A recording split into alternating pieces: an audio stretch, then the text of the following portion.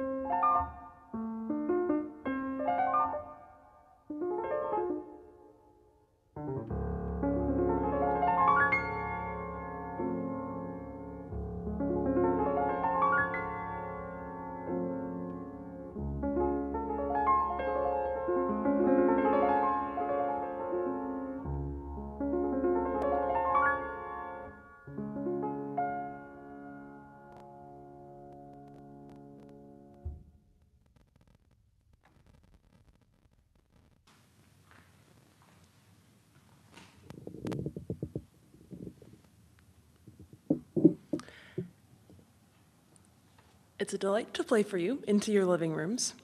And now I'd like to hand our whole program over to Dr. Sarah Davies.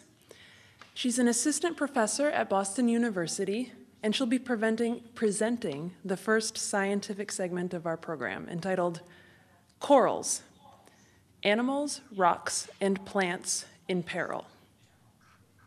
So first off, I'd just like to say how excited I am to see all the panelists come in. And I think one of the really incredible things about doing this via Zoom during a pandemic is that we can share this whole event with people from across the world. So um, yeah, and for anyone who's interested, um, you can follow me on Twitter. Um, so the first piece is called Corals, Animals, Rocks, and Plants in Peril. Um, so this is review for those of you that were in the audience for the first part of the night. Um, so this is a coral. This is a picture of a coral um, in Micronesia that I took when I was in the field. And it's beautiful, of course, because most corals are.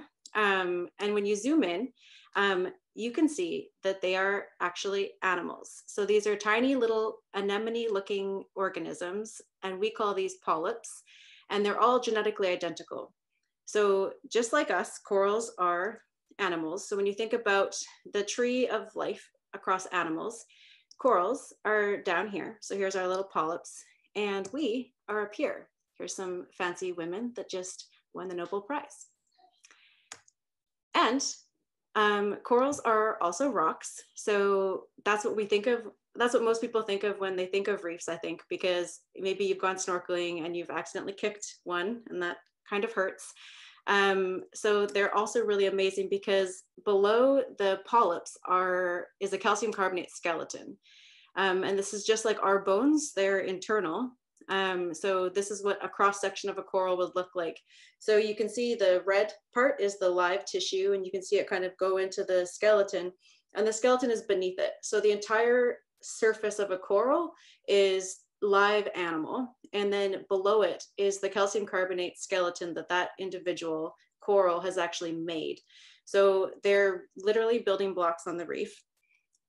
And these coral skeletons that they make are amazing. So these have, you know, bewildered scientists forever, naturalists, um, for as long as we've been able to go into the ocean and find them. Um, and they create these beautiful multitude of um, varieties of skeletons um, lots of people find them on the beach and think they're really cool. Um, and this is a reef. So all of these different corals have different strategies, different formations, and everyone has a favorite coral. Um, but these are plating corals that you see in this picture for the most part, and they create these huge entire ecosystems that wouldn't be there without the coral animal. Um, so these rocks provide house not only for the coral, but also for all the organisms that live on the reef. Um, but corals are surprisingly also plants. So when you zoom in, here's that coral polyp again. But now each of these little kind of yellow smudges is actually algal symbiont cells. So these are symbiotic algae that live within the coral. Um, and then, so here's a coral, we zoom in. Now this is a single coral polyp. We're looking under a confocal microscope here. And each red dot is a coral algal cell. So those are those single celled algae that live within the coral. So they actually integrate them into their into themselves. Um, and they're really important. This is what they look like under the microscope. So maybe not as charismatic as coral, but equally important. So when we think about the symbiosis between corals and their algae, we see that um, the algae provide photosynthetic byproducts in the form of carbon sugars. So they're providing tasty treats for their coral hosts. And the host obviously gives them a free place to live, um, but also provides um, CO2. So they need that for photosynthesis. Um, so this symbiotic relationship is the building block of the coral reef. And these reefs are in peril. So both of these reefs on this, um, in this example here are beautiful, but any coral enthusiast would tell you that the one on the left is more beautiful than the one on the right. And this is because the one on the left is healthy and the one on the right is bleached. So what is coral bleaching and how, how does it happen? So first I need to tell you about the Earth's greenhouse. So here's the Earth. Um, we're somewhere like, well, I'm here. Who knows where all of you are? I know there's some people from Texas, some people from um, Canada, Um, so thanks for all of the people from all over the world tuning in. Um, but around the globe is the greenhouse. And this is made up of a variety of um, substances ranging from water vapor, carbon dioxide, methane, and nitrous oxide. Um, and this, this is like, you know, biology or earth science 101. Um, so the sun's rays hit the um, Earth's greenhouse and lots of them get reflected off. But some of them penetrate through the greenhouse and then come to Earth and that's what keeps us warm. And without it, the Earth would actually be in, in uninhabitable. Um, so what happens is that as you increase any of these um, greenhouse gases, which I told you carbon dioxide is one of them, you're actually serving to warm the earth. So this is the reading from today. So this is October 15th, 2020, and we're at 411 parts per million. And you don't need to know what that means. All you need to look at is just the historical context for CO2 in the atmosphere. So we see this is looking from like 1700, and we see since about you know 1970ish, we've seen an exponential increase in CO2 in the atmosphere. Um, and for context, when I was doing my dissertation work when I lived in Texas, it was in 2009, we were under 400. So just in the short period of time, we've increased a lot. And these CO2 concentrations are highly correlated with temperature because like I said, CO2 is a greenhouse gas. It serves to trap the rays of the sun and therefore warms up the earth. So it's not perfectly correlated, but temperature is in blue and CO2 is in orange. And you can see that through time, this is looking at thousands of years ago. So like throughout all of the time of the earth, we've, you know, there's been a tight, pretty tight correlation between temperature and CO2. And then recently we have this huge increase in CO2 and that is correlated with getting really hot. So this is looking at temperature anomalies. So this is from 1880 to 2015. It's actually till 2019, um, or sorry, to 2018. Um, and what you see is the blue bars are the 20 coldest years, and the red bars are the 20 warmest years. And you can see that we're doing a pretty good job of warming ourselves up pretty fast. And what does that mean for corals? It means that they start to bleach. Um, so this is looking at a healthy coral. So these are, this is a coral cell and inside you can see the symbiotic cells, uh, the algae. And when it gets too hot and also a variety of stressors, corals are pretty sensitive. Um, they expel their algae. And we don't actually know how this, um, like the mechanism that causes the exact release of the algae. And this causes, but regardless, these little coral animals are actually see-through. Um, so they're still alive, the animal's still there, um, but now they're see-through and now all you're seeing is their white calcium carbonate skeleton. So they look bleached. Um, and then eventually if, so you can imagine that you've essentially lost your food resources. So all of your algae have left, there's no more photosynthesis, um, yummy sugars. And so eventually the coral, if it doesn't recover, will uh, starve to death. And death, um, usually what happens is the coral gets covered in this turfing macroalgae. And this is what's happening. So, you know, I gave this talk um, in 2018 and I showed the left two panels looking at, this is just looking at the Great Barrier Reef, so the largest barrier reef in the world.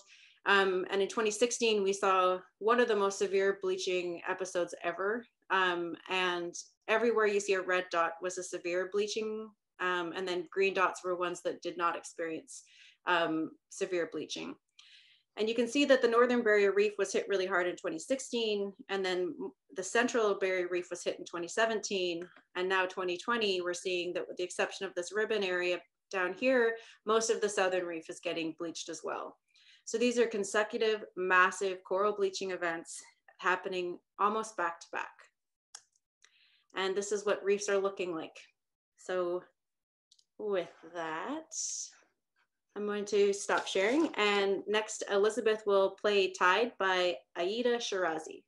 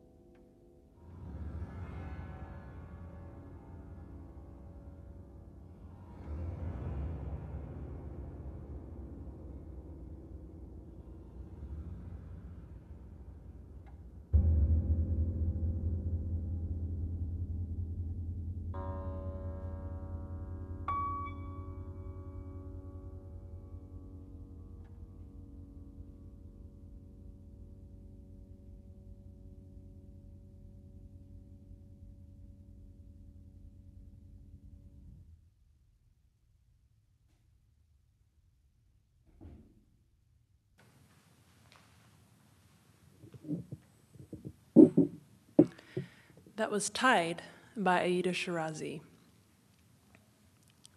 The next piece I'll play is entitled Threnody by Carl Vine. A threnody is a piece that's a lament. In this case, a lament for what's happening to the corals.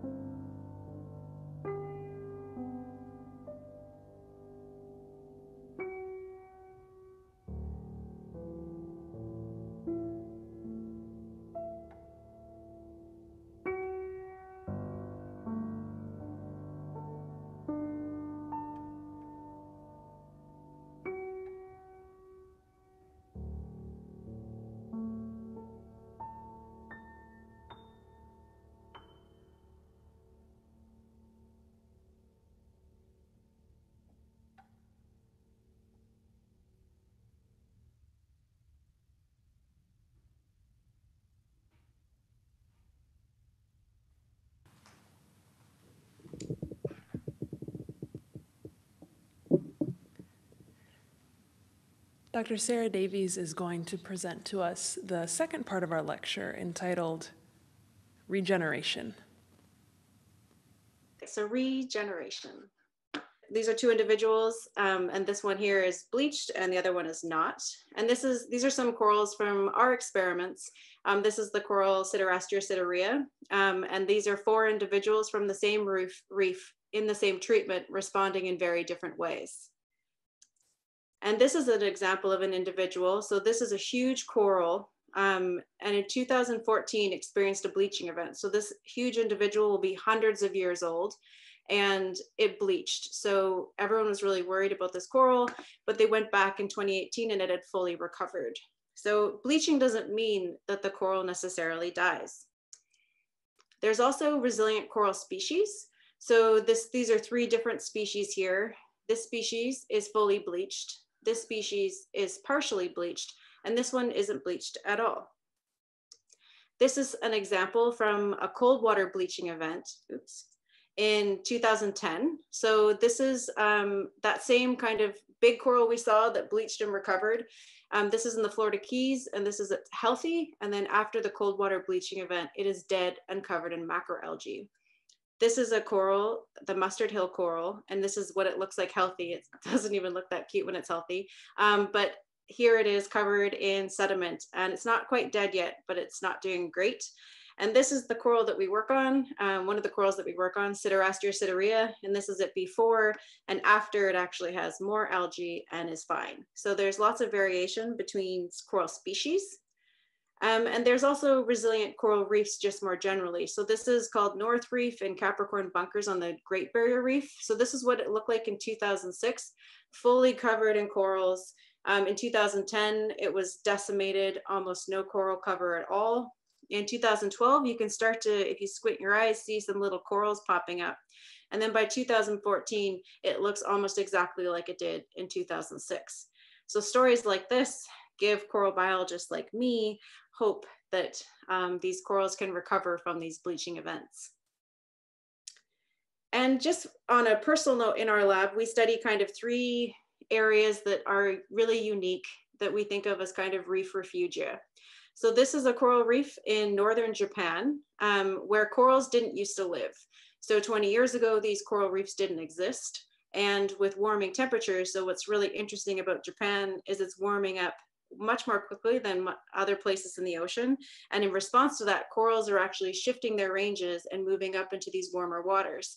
So this is a picture from one of these Japanese reefs, and you can see that the coral cover is insane.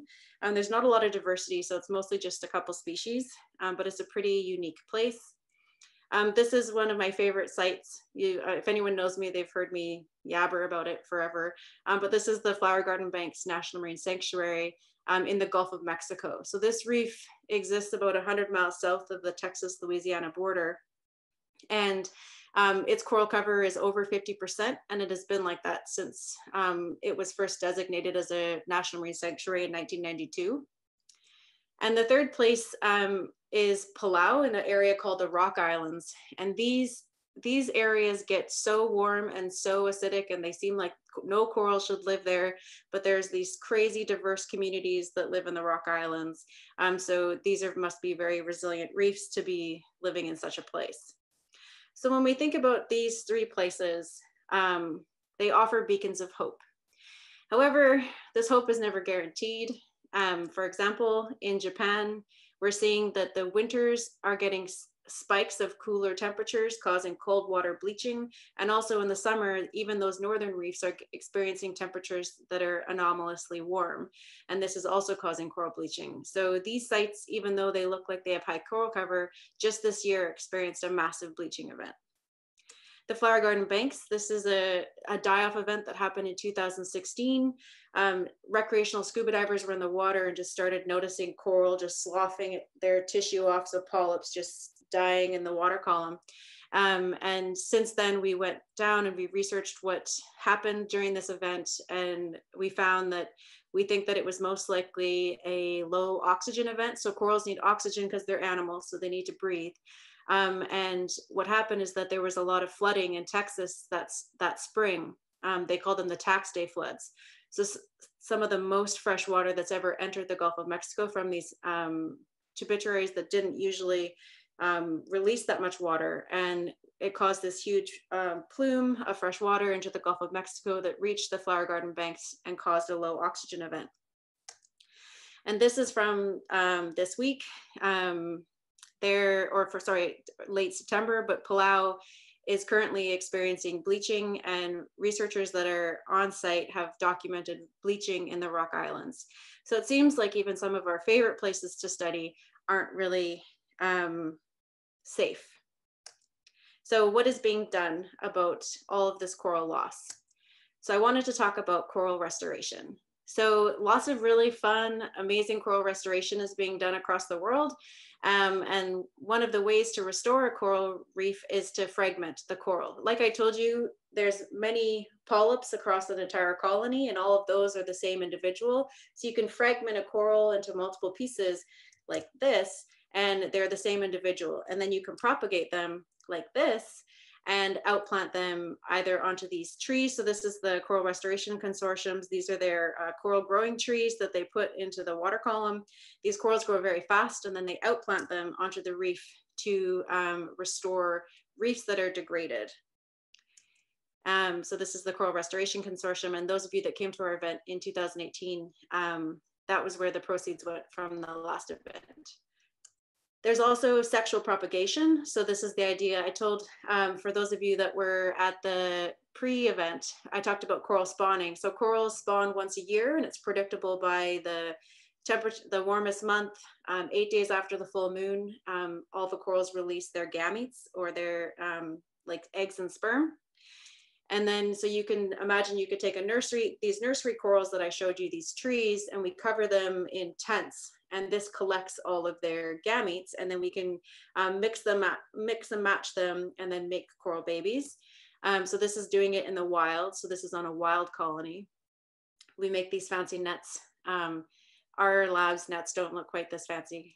Um, but these what we do is we um, mix the eggs and sperm together and these create little larvae this is what a larvae look like um, they're really cute. They can swim around and sense the environment. And then they settle into what we call a coral polyp. So these are the little polyps I showed you, and you can see the brown color comes from the symbiotic algae. Um, so it looks like this in like scientist nerd form. So you have a couple individuals, you mix them up, they make the little planula larvae, and then we settle them. So you have new genotypes because you mixed two different parents um, so this is a way to try to increase genetic diversity on the reef, whereas the other way, the fragmentation, the exact same individuals everywhere. Um, the other really cool thing that's happening in coral research and just coral husbandry more generally is coral restoration in the form of captive breeding. So some of the first coral spawning was done by Jamie Craggs at the Horniman Museum in the UK. Um, so they have spent a lot of money and done a lot of research on um, finding the exact cues that corals need to um, to cue that lunar cycle I told you about. So they need the exact sunlight and lunar light that corals experience on the reef. Um, and this has also been done at AIMS, the Australia Institute of Marine Science. Um, and what's really cool is that normally corals only spawn once a year, but these researchers have now been able to bamboozle corals to release gametes twice a year so we can try to increase the reproductive output um, from these corals. Um, more interesting news from the Florida Aquarium this last summer is that they were uh, they spawned Dendrogyra, which is a highly critically endangered species. They spawned it in the lab, um, and they they had successful spawning of other species as well but I'm going to get negative again. Um, not all uh, regeneration works. So this was some work um, putting out these um, fragments of corals. Each of these fragments is a different uh, individual. So it's a fragment of a different coral uh, genetic background. Um, and all of them bleached um, in this experiment, trying to figure out which uh, corals would do best in this environment. So even though we, we have all these coral fragments in the lab, sometimes when we outplant them, if the corals all around on the reef are dying, it's probably not good habitat for corals more generally. The other thing that's a bummer is that you can have these restored reefs, um, but then hurricanes can come through and totally destroy. So this is um, before Hurricane Irma and Maria. This is in Florida, and this is after. So these thickets of um, this species is called Acropora cervicornis. They're used to dealing with high impact storms. That's kind of what the what their jam is. Um, and it breaks them apart, but usually they can like regrow. They're like zombies. Um, so I don't know what this reef looks like now. So it could be that these have regenerated, um, but these more frequent and more intense hurricanes that are happening with climate change are definitely something that um, researchers are really worried about. Um, and Hanny's going to tell you a little bit in um, the third part about why hurricanes, why we should be so worried about hurricanes. And the last thing is um, this crazy disease that is going through the Caribbean. So this is happening right now. These are pictures from this reef this this week. This is from the Coral Reef Futures Lab. Um, and this disease is called skittled or stony coral tissue loss disease.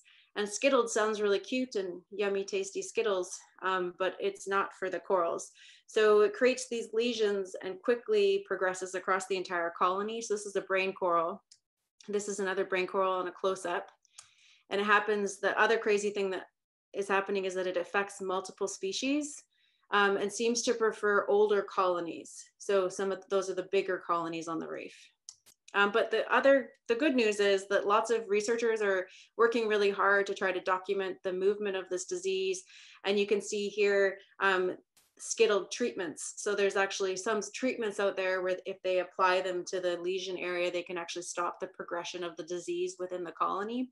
Um, so there's a lot, this is an area of active research um, and um, yeah, so we're just monitoring where this disease is going and trying to do in the field kind of, um, yeah, so corals not like, you know, they're experiencing their own kind of pandemic, um, but they can't wear masks. So um, we have to go in and try to fix them. Um, so I always get asked this question, like what's going to happen to corals? Like, will they persist? Why are you studying something if it's, you know, it's the end? Um, and I feel, yes, there's like a lot of bad news. Um, so as the, as the water warms and as we kind of degrade, continue to degrade our environments and not prioritize them, um, I do think that they will be negatively impacted and I don't know exactly what they'll look like, but I do think they will be present, but I just think that they'll be fundamentally different than what we know of corals now. Um, so with that, we have Emma Shubin and Veronica Bolesky from Integral Steps, and they're gonna lead us in a special audience activity called Music, Movement, and Mutualism.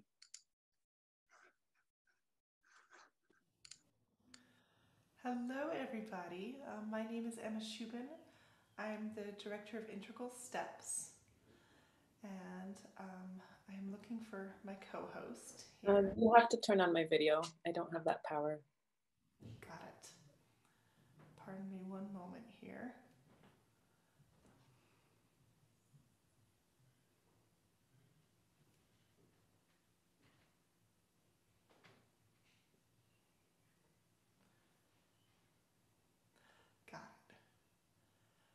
All right. It's really great to have us all here today. Um, we are very excited to be presenting a music and movement. Um, hey, Emma, I'm so sorry. One more thing. Can you put the spotlight on yourself? I'm working on it, yes. Okay, thanks. all right. So here we both are, I hope. and um, I am just delighted to be here today with the Multiverse Concert Series. We are really honored to be welcomed back. Our whole wish in life is to find new ways to integrate different types of learning, including science, music, movement, and art. And so today you're going to need a scarf, if you have it, or um, a clean pair of socks can work just as well. And um, if you're willing to stand up and give some space to move, that would be great. Um, if you're standing, I want you to find some softness in your knees and see if you can follow my music that I'm going to make.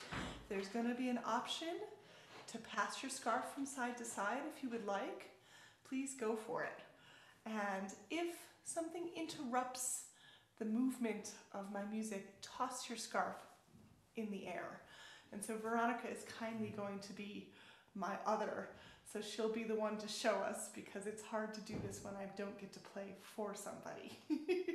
so Veronica, I'm going to mute you while we do this activity.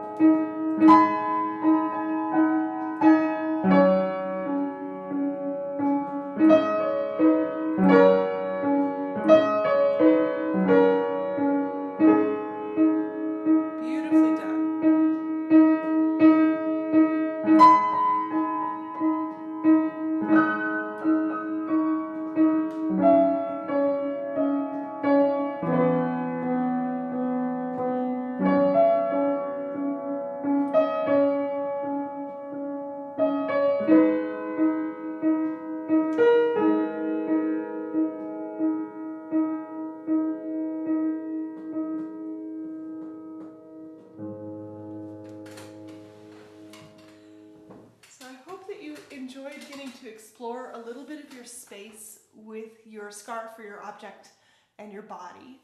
It's always interesting to ask people to move, especially those of us who may be adults. We don't always love to use our whole bodies, but we will happily move an object. And so I hope that helped you to find something in the music. What we were listening to was the pulse inside of our music. And in the piece that we are introducing to you, um, you will notice as you're listening that there is something that always comes back to something that feels like home, and that there's this very fast pulse that lives inside of the music and these interruptions. So Veronica is going to take it from here, and what you'll need to find is your paper and some of your pencils.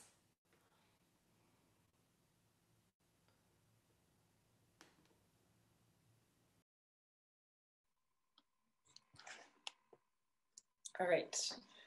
Um, so what I would like you to do is um, make a mark on your paper and it's gonna be a gesture that will match with a sound. So we'll just try one gesture and one sound. Here we go.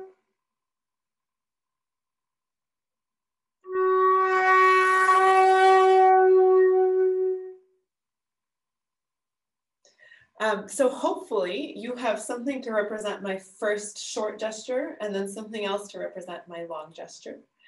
Um, and Emma show, showed hers and yours might, might look the same or might look different. Um, and what we're making is a graphic score. And so in a graphic score, rather than using our traditional music notation of five lines and spaces and the notes, um, written out by exactly by the rhythm and by their pitch. Instead, we're trying to capture the gesture of the music and the, the, the feeling it gives us. And, um, and a graphic score can have all sorts of shapes and all sorts of uh, graphic designs.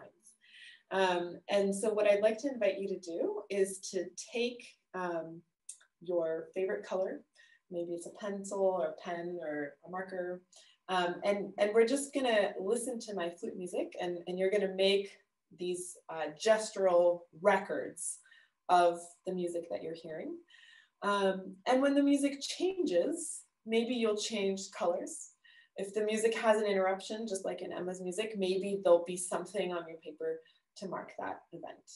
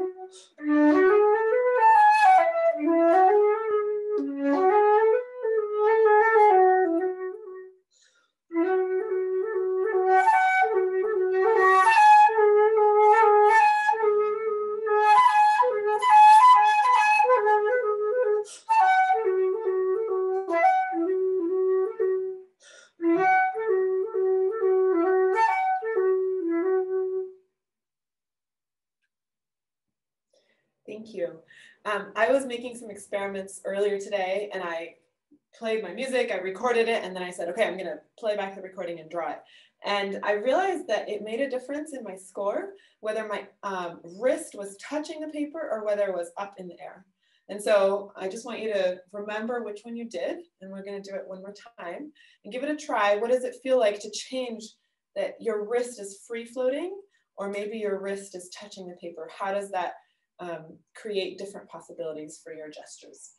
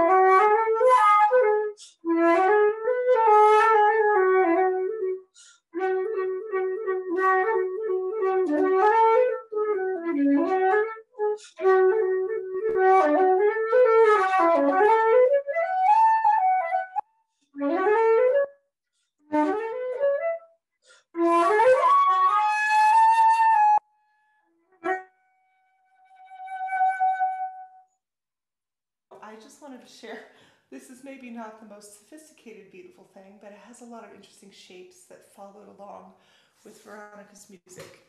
So Veronica, if you don't mind being my scarf person one last time, we do have a couple extra minutes because we're running ahead. And I just do want you guys to see a friend out there trying to use movement and see now how it feels to move to the music after you've listened to music and drawn to it You've maybe had an experience of moving before or wondering what we were talking about exactly, and hopefully now you'll be able to see. I'm going to mute Veronica, and I think we've got us both now. So the pulse inside the music and listening to the shape. And so if you hear the music go high, your scarf will go high. And if you hear something go low, you can try now to also have your scarf go low.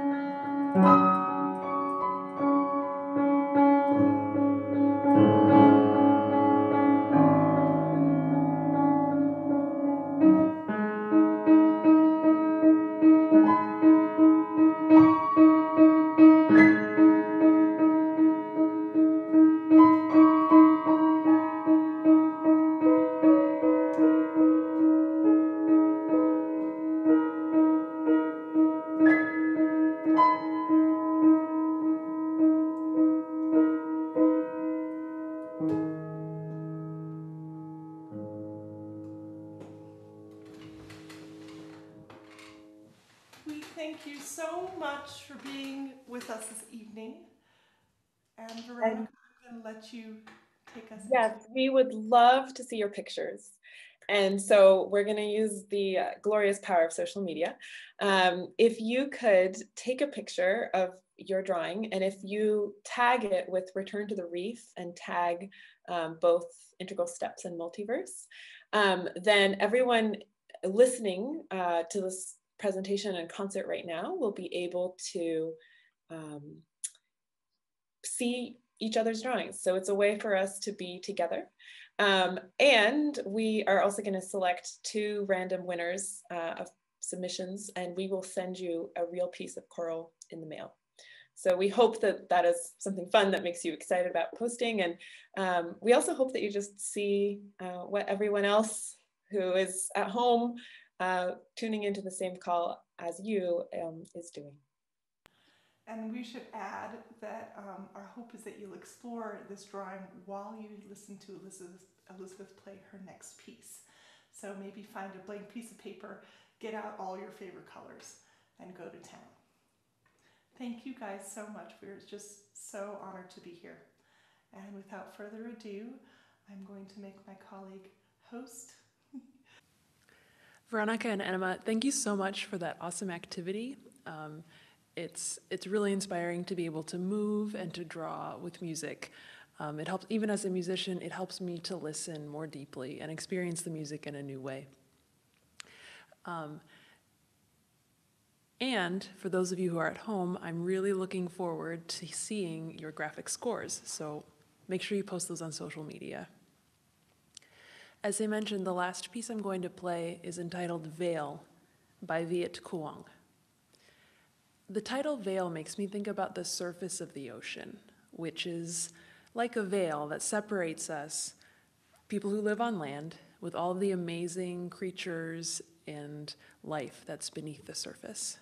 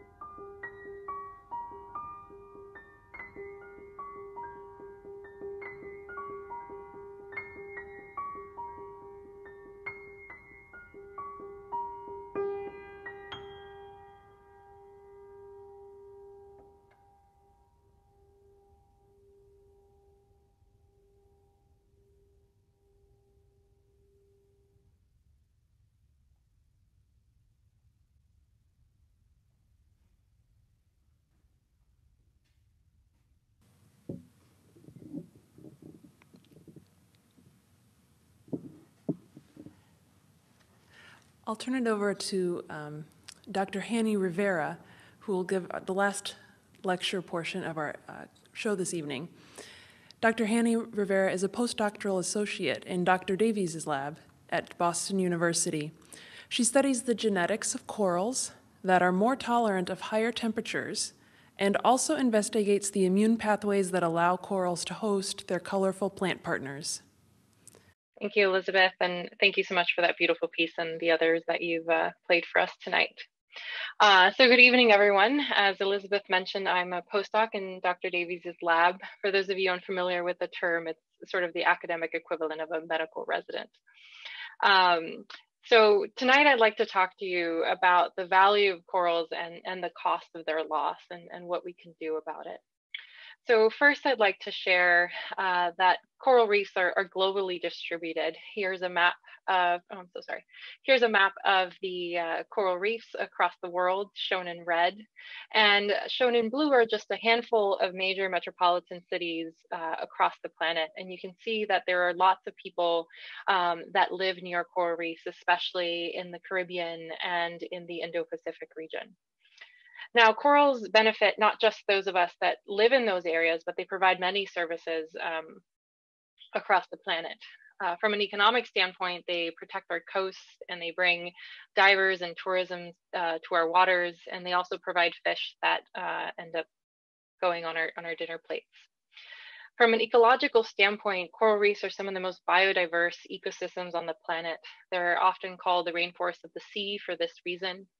They host thousands of species, and that even includes organisms that don't end up living their entire life on the reef. Uh, they might only spend their, their early years on the reef, uh, taking advantage of all the beautiful topography and structure that the coral provides as um, shelter and, and hiding out from other predators.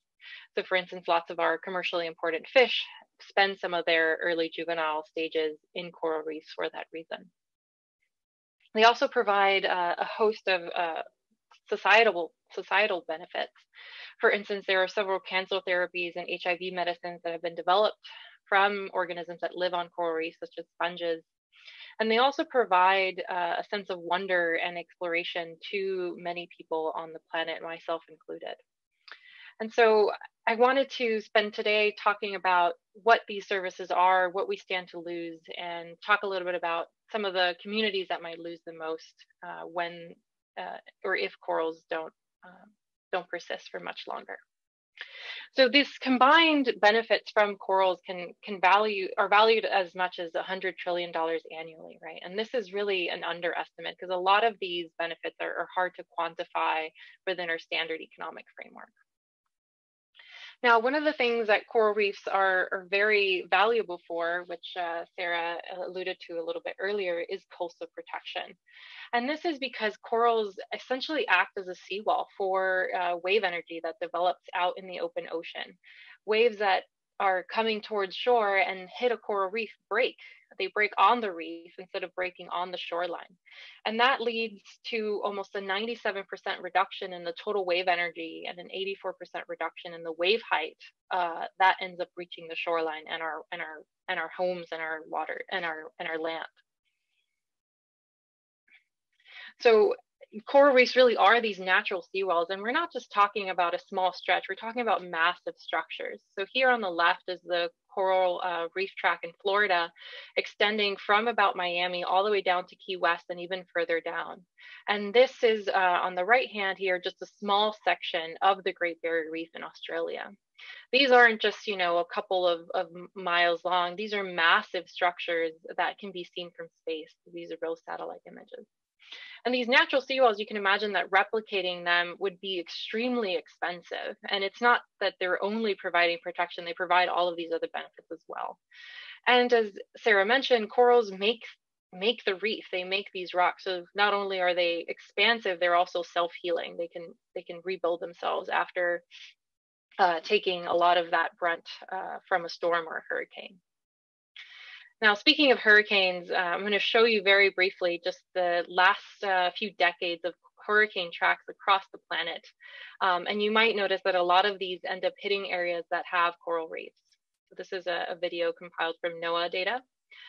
Here you see in the Caribbean, coral, uh, were corals dominant um, hurricanes going all over the place, as well as in the northern Indo-Pacific and, and southern Indo-Pacific and in Australia especially. So corals are really protecting these really hurricane-stricken areas, and they're quite valuable in that protection. In the US alone, reefs provide almost 900, sorry, $94 million in coastal protection each year. And this is during a boring year. This is when there's not really any big storms. During a large category five type storm, that protection value goes up to about $272 billion. Here on the right is Hurricane Maria, which many of you might remember uh, went over Puerto Rico in 2007 as a category five hurricane. And it was one of the most devastating hurricanes to make landfall um, in recent history. And even, it, even though it was so devastating, it would have been even more uh, impactful if Puerto Rico had no reefs to protect its shorelines from, from a lot of that surge. And it's not just during hurricanes that they're important. They also uh, protect against, you know, run-of-the-mill erosion. Here uh, on the left is a is a beach in Puerto Rico, and you can see that, um, you know, here in this particular image, the sand is starting to erode away, and the waves are starting to essentially crumble the land underneath this house. And reefs really offer a lot of protection against erosion such as this. Uh, they also help with sea level rise. On the right is an island called Tarawa, which is part of the Republic of Kiribati in the Central Pacific. And I'll talk a little bit more about Kiribati in just a minute.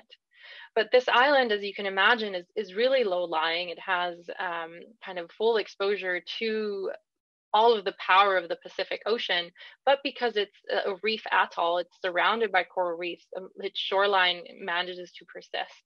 So with rising sea level, it's, it's threatened, and actually Kiribati is one of the most vulnerable countries to uh, sea level rise.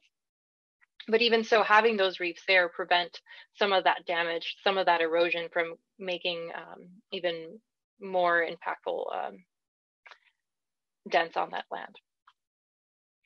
Now, as we know, coral reefs are also a big driver of tourism, um, and myself included, and I imagine many of you on this call also love to, to dive and see and explore coral reefs. And there's thousands of divers that travel to tropical coral reefs a year, hundreds of thousands.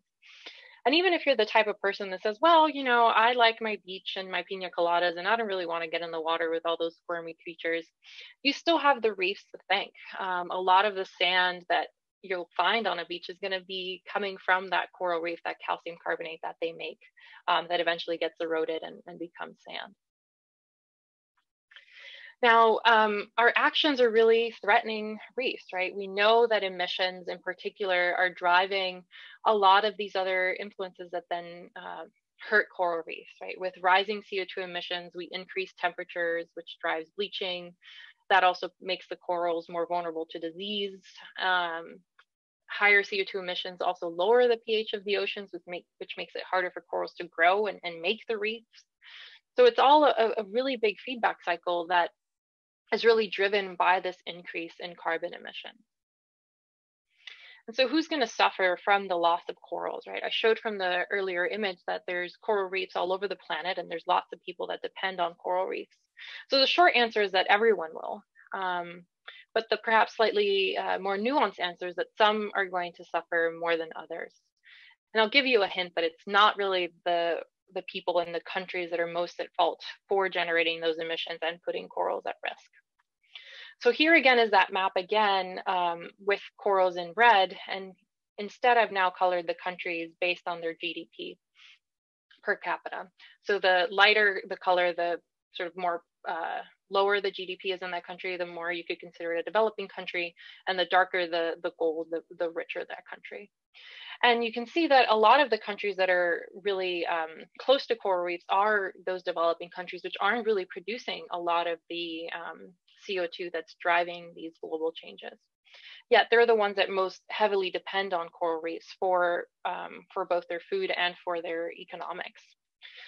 So here is a, um, is a graph that's showing the percentage of the total employment on the y-axis that's derived from tourism. And in many of these countries, which you might recognize here as Caribbean or Pacific islands, that tourism is based on coral reef and, and sort of the tropical ecology of that place, um, which is dependent on healthy coral reefs for it to still look beautiful and blue and, and have that sort of aura of paradise that we all we all crave every once in a while.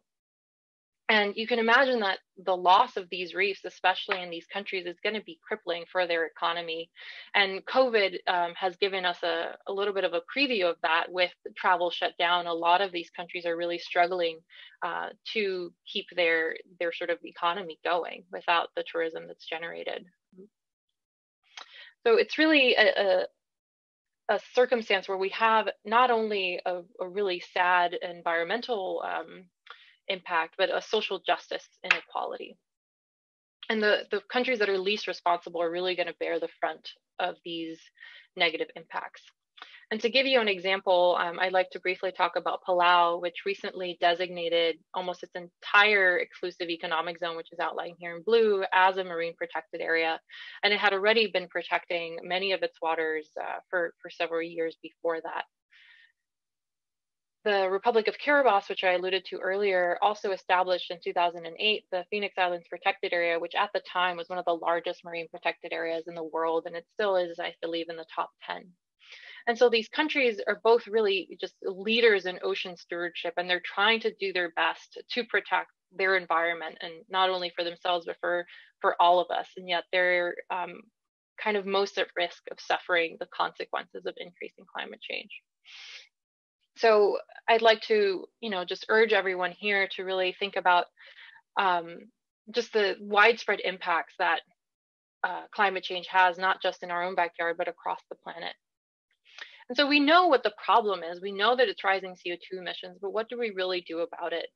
And now individual actions like being a vegetarian and taking uh, fewer plane rides and all of these things, which I 100% support and, and, and try to live by, they're really important. But unfortunately, to use scientific uh, sort of lingo, they're necessary but not sufficient this is a large scale global issue and it it's going to require large scale global coordination in order to to really get it under control right? We need agreements like the the paris climate agreement and other agreements that will hopefully be even more forceful in the future.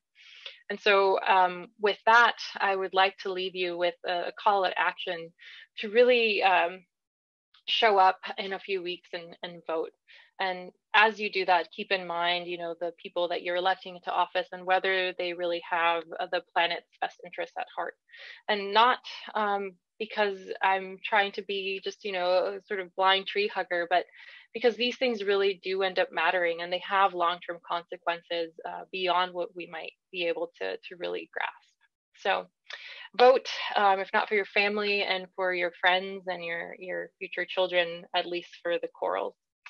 Um, and with that, I'd like to thank everyone for your attention tonight and remind you that we still have a Q&A coming up, so please stay tuned for that. Thank you so much, everybody. Um, I'm thrilled to have been here uh, hosting in the background. Um, and I'd like to now invite all of our performers and participants up uh, for a bow. Uh, we haven't tried this before. Uh, here we go. Uh, da, da, da. We are all here. So, uh, start off, uh, let's have a bow for Dr. Sarah Davies of Boston University. They can hear you if you clap, by the way. They can. uh, Dr. Hanny Rivera, Boston University. Uh, Veronica Bolevsky and Emma Shubin of Integral Steps.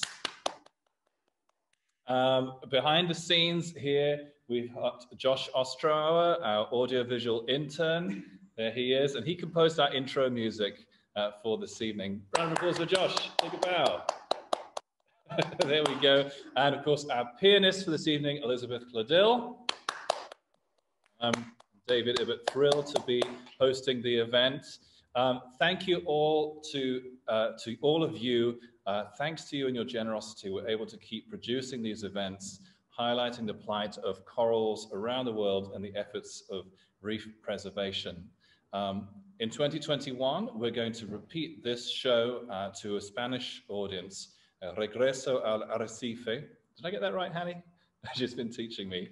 Yeah, um, you did. We've got, did I go okay? Uh, we've got a special um, ask uh, for you. Uh, if you visit multiverseseries.org, you can become a supporter of our reef project, uh, Regreso al Arrecife.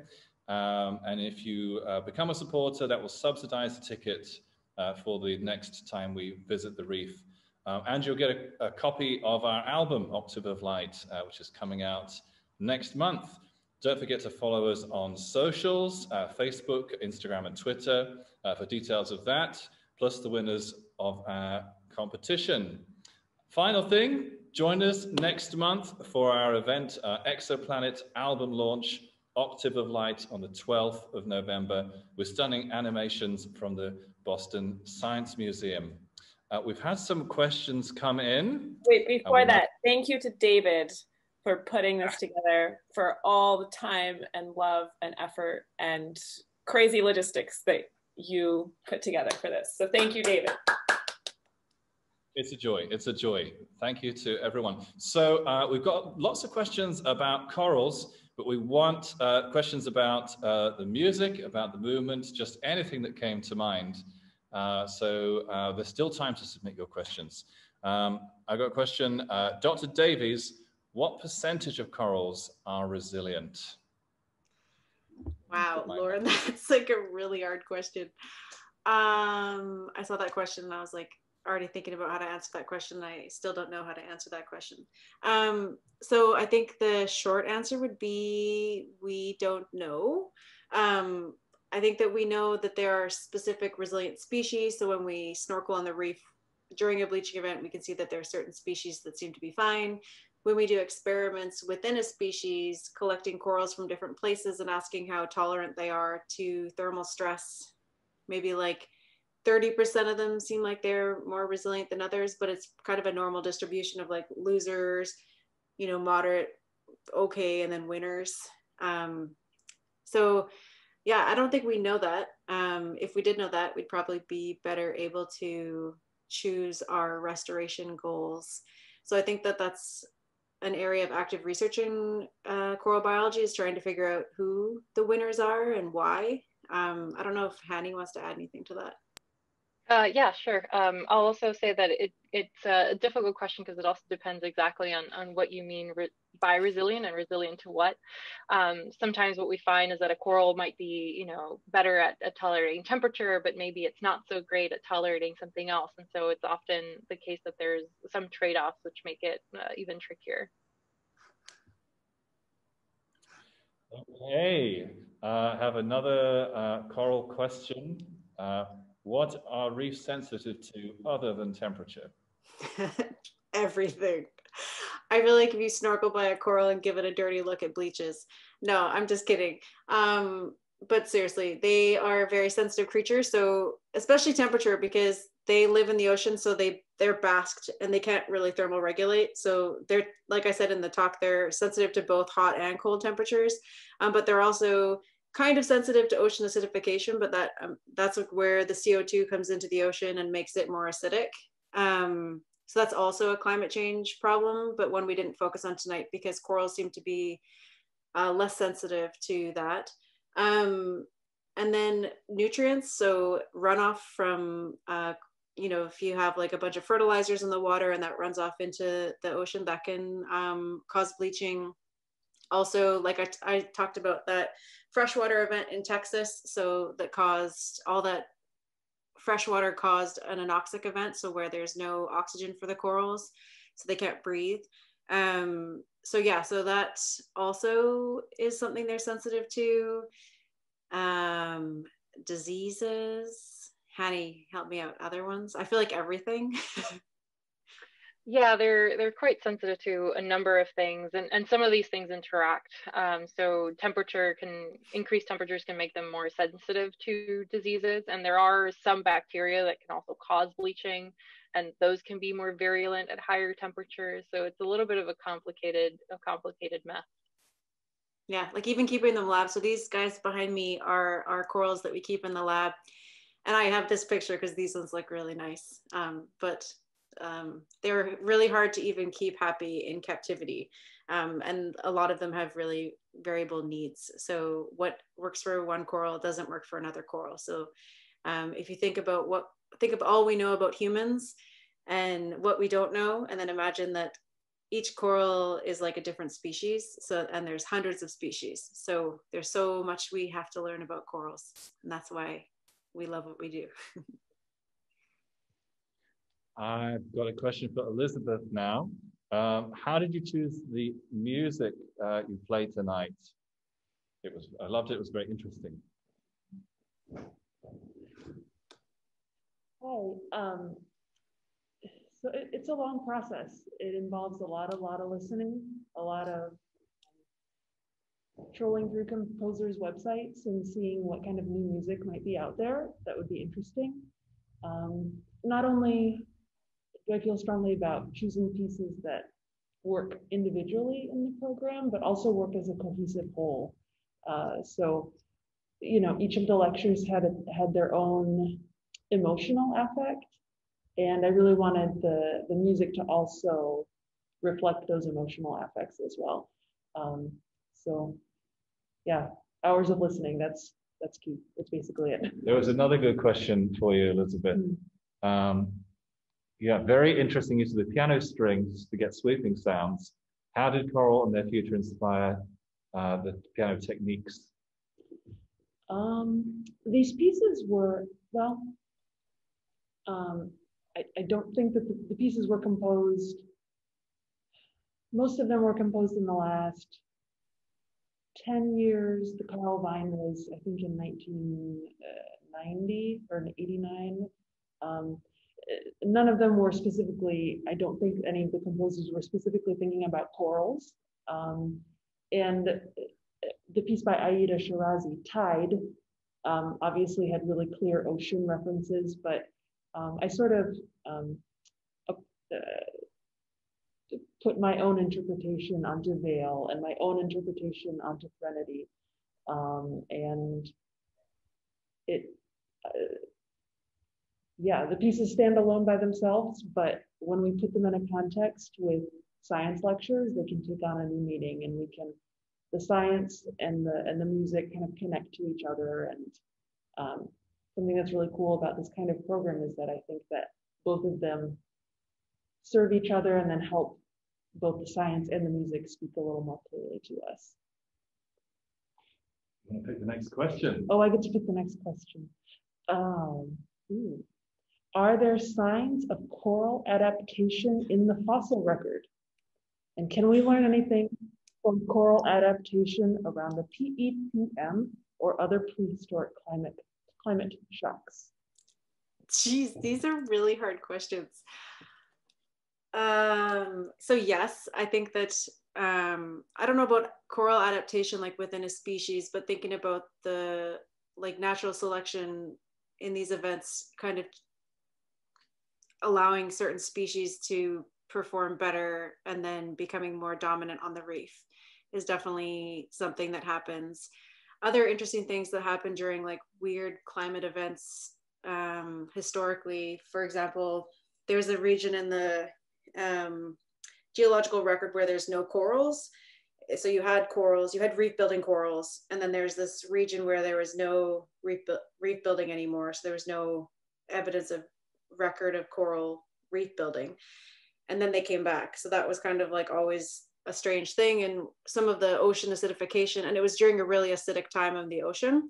Um, so some of the acidification experiments uh, in the lab have shown that corals can do this like crazy zombie stuff where they, if you put them into really acidic conditions, they do what's called polyp bailout, where they kind of like each individual polyp. So like these things behind me, an individual one will kind of plop off and then they're like little zombie corals swimming in the water, like just like free living anemones. And then when you bring the pH back to normal, they'll like reattach and start secreting a calcium carbonate skeleton again as the like um as the chemistry water chemistry allows them to do that um so that's like the only really thing i can think to address your question because i'm not like a expert in geology but maybe Hanny has other ideas I can't think of any like specific ones of like adaptations per se. I mean, there certainly are instances of, um, you know, as, as Sarah was alluding to, sort of shifts in the species in a community, but I don't know that we really understand exactly why those shifts happen. But yeah,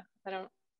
Yeah, so we know, for example, like like the corals that do really well right now, or like the corals that we're seeing actually dominating reefs, but not really doing very well, are those like plating corals that I showed you a lot of pictures of. Um, and those historically didn't always do well, right? So there's something about right now that that was good for them that no longer is good for them. So that's kind of what begs the question of like what will the reef look like in the future? Because it's not like we always had these big plating corals. Corals coral reefs have changed through time um, or at least based on the like the geological record.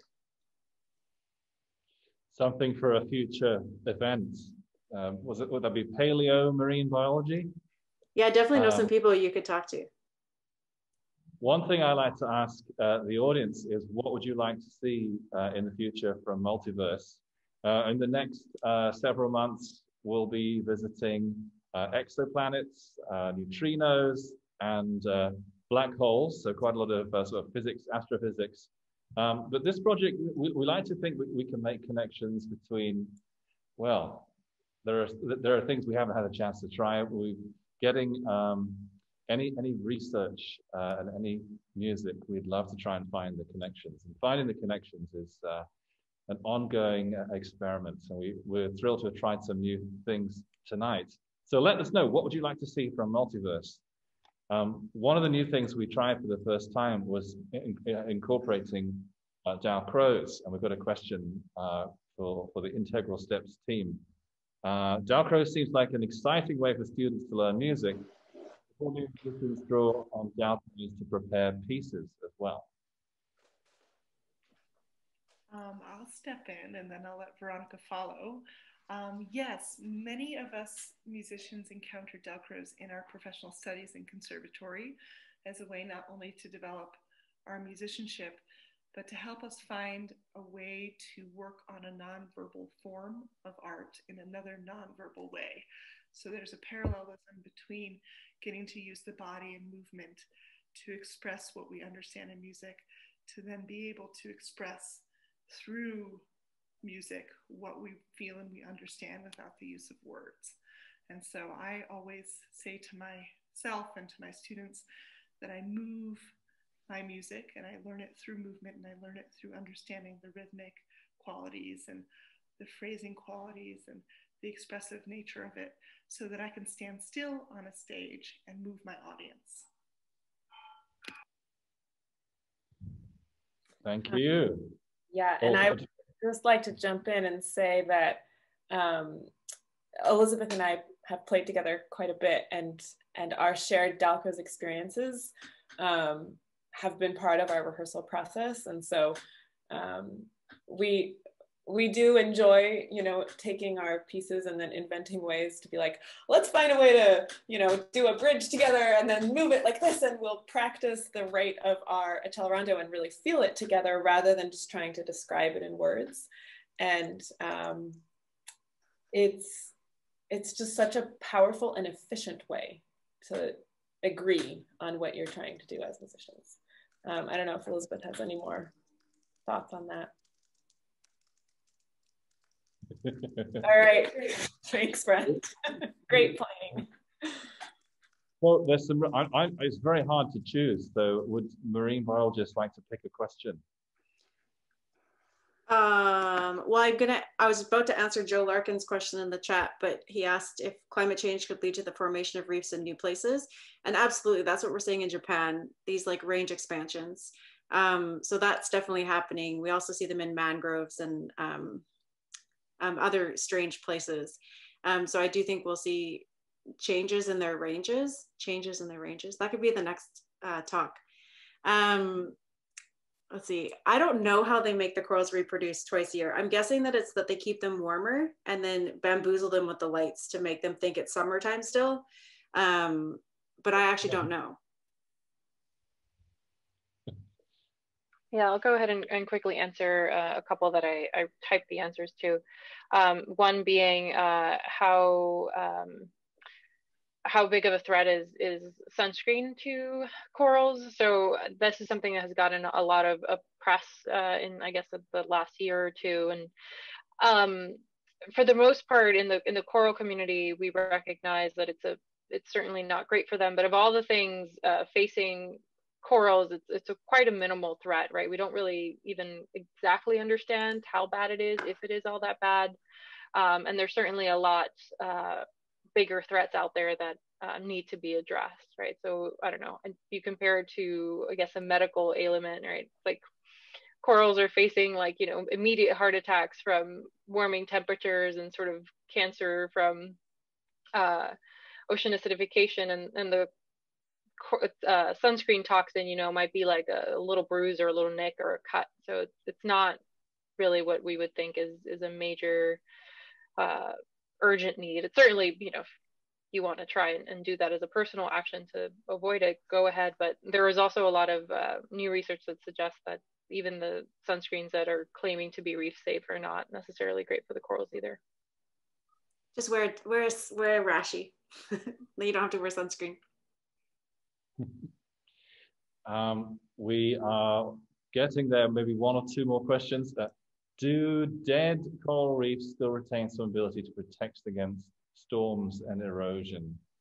Yeah, so they will for some period of time. So they still have the structure, um, like a dead coral reef, especially like within a year, it will still look like that, but they start to become really brittle because the live coral tissue is actually what keeps them so strong because they're always um, depositing that calcium carbonate on top and on top and on top.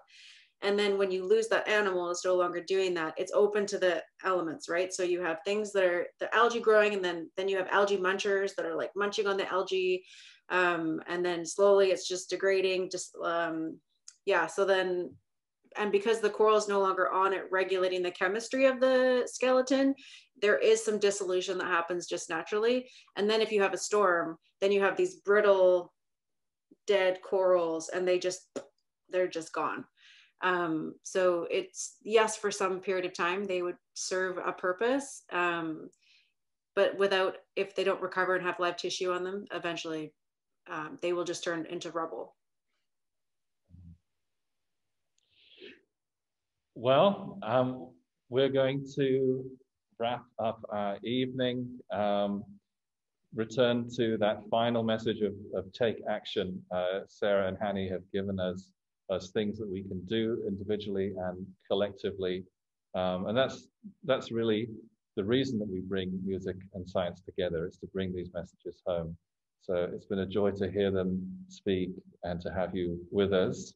I thank uh, Sarah Davies, Hanny Rivera, Veronica Bileski, Emma Shubin, uh, Elizabeth Chladil, Josh Ostrower, and we'll see you in November for Octave of Light with the Science Museum. Good night. Good night, everyone.